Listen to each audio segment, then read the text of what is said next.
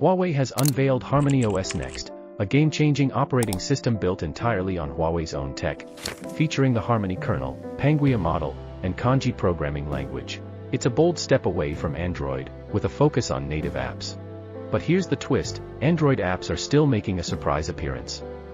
A Reddit discovery by a beta tester has revealed the secret, the EZ Abroad emulator. Found in Huawei's app gallery, this tool creates a virtual Android environment, allowing users to run popular apps like YouTube, Facebook, Gmail, and even Netflix. How it works. Android container. Apps run within a dedicated space.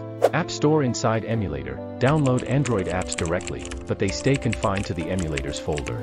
Smooth performance for most Android apps. Convenient for accessing Google Mobile Services, GMS, abroad.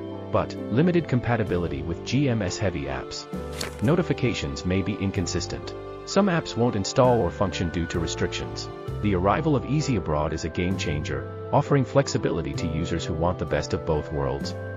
Huawei's cutting-edge Harmony OS Next and Android app access. But will Huawei double down on this workaround or focus entirely on native apps? Is Harmony OS Next the future of mobile OS? Are you excited about this innovative bridge for Android apps?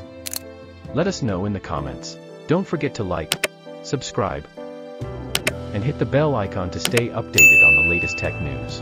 And I'll catch you in the next one. Stay blessed.